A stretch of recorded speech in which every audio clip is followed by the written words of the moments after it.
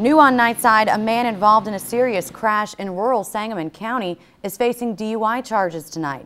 Authorities say just before 8 o'clock, a car with two people was heading south on Gilreath Road by Covered Bridge Road near Glenarm.